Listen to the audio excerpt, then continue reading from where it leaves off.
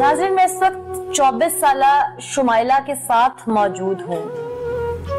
हमारी कोशिश होती है कि हम इस बाबरकत महीने में कुछ नेकी में थोड़ा सा अपना भी हिस्सा डाल सकें। कोई किसी के हक में बेहतरी, वैसे तो हम पूरा साल कोशिश ही करते हैं, लेकिन ऐसे मौके पर वो अफराद जिन्हें वाकई हमारी बेहद ज़रूरत है वो खाने तक नहीं पहुँच सकते, कहीं आवाज़ नहीं बुलंद कर सकते, हम उनकी पुकार बने।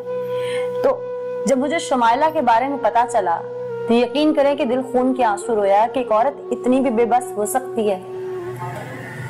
शुमाइला की उम्र इस वक्त सिर्फ़ 24 साल है। शुमाइला की शादी हुई, वहाँ इसके साथ जो जुल्म के पहाड़ तोड़े गए, और उसके बाद शुमाइला जिस हालत में है यह हमारी उन तमाम बेटियों के लिए लम्हा फिक्रिया है जो अपने घर में जुल्म सहती हैं और ज़ुबान से सी तक की आवाज़ नहीं निकालती। शुमाइला के साथ क्या हुआ उसी की ज़ुबान से जानते हैं और पूरी कोशिश करेंगे कि शुमाइला को इंसाफ दिला सकें। शुमाइला आपकी उम्र इस वक्त 24 साल है। जब आपकी शादी हुई उस वक्त कितनी उम्र थी आपकी? उन्नीस साल थी। 19 साल उम्र थी। जी। आपने कितना पढ़ा है? मैट्रिक की मैट्रिक किया। कितनी बहनें हैं आपकी? बहनें तो माशाल्लाह हम ज़्यादा हैं। कितनी हैं? आठ। आठ बहनें हैं? हाँ आप कितने नंबर पे हैं? मैं पाँचवें नंबर पाँचवें नंबर पे हैं। आप आपकी जब शादी हुई वो आपकी अरेंज मैरिज थी लव मैरिज थी? अरेंज अरेंज मैरिज थी आपकी? हाँ जी। आपकी जहाँ शादी हुई उन लोगों ने एंगेजमेंट की आना जाना रखा पहले आपके घर के नहीं? हाँ जी रखा। कितना अर्सा एंगेजमेंट रही आपकी? ये छह महीना रही। है शादी की बहुत जल्दी थी उन लोगों को कि अच्छा। शादी। शोहर आपसे उम्र में बड़े थे? हाँ जी बड़े हैं। कितने? ज़्यादा बड़े अंदाजन? यही कोई होंगे सात आठ साल बड़े। सात आठ साल बड़े हैं ज़्यादा। जी। ठीक। आपकी शादी को पाँच साल अब तक बीत चुके हैं। हाँ जी। इन पाँच सालों या पाँच साल पहले जब आपकी शादी हुई तो अपने कदमों पर चल के ससुराल गई थी। हाँ जी। कदमों पर चल हाँ जी मैं बिल्कुल ठीक ठाक थी। बिल्कुल ठीक? हाँ जी। क्या हुआ फिर आपके साथ कि आज आप इस हालत तक पहुँच गई हैं? मेरी बेटी होने वाली थी।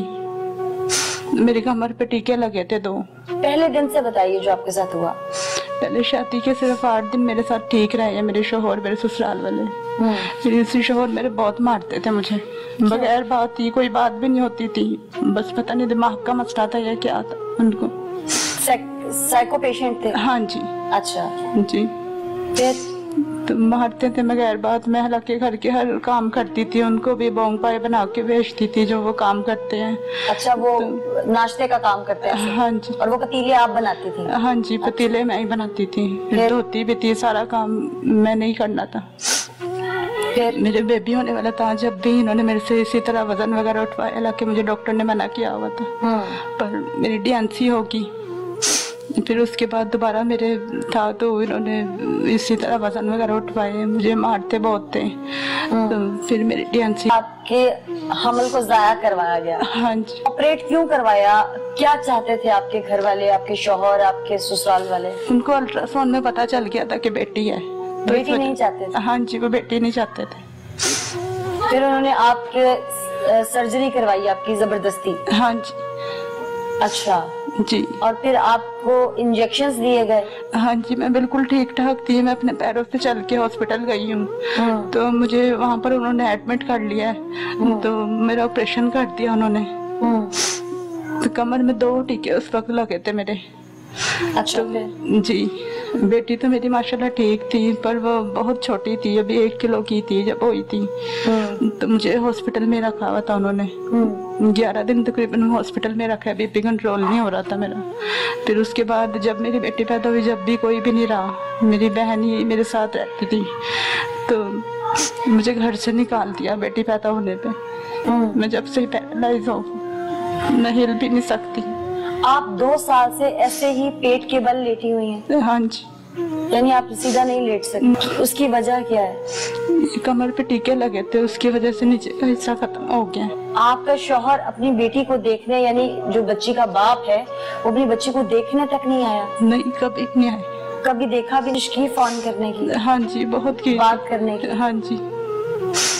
ससुराल में कौन कौन है आपके? सास ससुर नंदे देवर। उनके घर में भी बेटियाँ हैं नंदे हैं आपकी। आपने पूछा नहीं कि मुझ पे ये जुल्म क्यों? पूछा था जब भी मुझे उन्होंने मारा हॉस्पिटल में आके। में मारा? हाँ जी। क्यों? बस। हिम्मत रखें। हिम्मत रखें आपने बहुत हिम्मत दिखाई है अब तक। हिम्मत रखें क्यों मारा उन्होंने? बेटी पैदा होने पे। नहीं आपके हॉस्पिटल में जब नंदे और सास ससुर आए उनके सामने पोती देखी? हाँ जी। तो आपने कहा नहीं कि इसमें मेरा क्या कसूर है? जी मैंने कहा था। हम्म, बस दिमाग का मसला है या क्या मसला उन्हें अल्लाह बेहतर जानता अभी आपके शोहर ने आपको तलाक भेज दी। वो बेटी जो आज अपनी बेटी को उठा नहीं सकती उस बेटी के मुस्तकबिल का सवाल है ये माँ ठीक हो जाए। इसलिए दिल खोल कर दीजिए। शायद आपका दिया हुआ उस नन्ही मासूम का मुस्तकबिल सवार दे शुमाइला का मुस्तकबिल सवार दे और इसे एक बार फिर से वो ज़िंदगी मिल जाए जिसका ये हक रखती है और जिसके लिए वो मासूम बच्ची हक रखती है जो इससे पैदा हुई है। शुमाइला आपकी बेटी का नाम क्या है? हुरैन। हुरैन। जी। हुरैन को देखा अब मिलती है आपसे आके। जी। आती है? जी। मामा कहना आ गया जी। दो साल की हो गई। हाँ जी आप उसे उठा नहीं सकती? नहीं। दिल चाहता है? बहुत दिल चाहता है मेरा अपनी बच्ची को उठाऊं उसे खुद संभालूं पर मैं हिल भी नहीं सकती। आपको जिस हॉस्पिटल में लेके गए उसका नाम क्या था? नाम नहीं मुझे याद। वो क्लिनिक कोई सर्टिफाइड डॉक्टर का था? हाँ जी। डॉक्टर से मिली आप प्रॉपर डॉक्टर थे या कोई डिस्पेंसर वगैरह थे? डिस्पेंसर ही था शायद। कोई डिस्पेंसर का नाम जानती हैं उस क्लिनिक का? नहीं नाम नहीं मुझे याद। कहाँ पे था? दूर ही था काफ़ी। घर से उनके काफ़ी दूर था।